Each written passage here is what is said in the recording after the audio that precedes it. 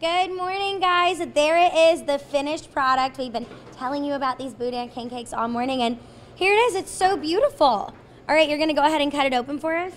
Yes, ma'am. Uh, so it's really hot right out of the oven, but this is uh, kind of how I didn't cut it hard enough, but They are really fresh out of the oven, Yeah. guys, like seconds ago. So you can see our hamburger bun dough. So it's our recipe for the hamburger buns.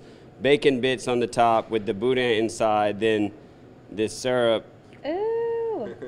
Like you can see how good that would be. It looks so fantastic. Now, we had the debate like a few weeks ago if king cake is a breakfast food. Do you think Boudin king cake is a breakfast food?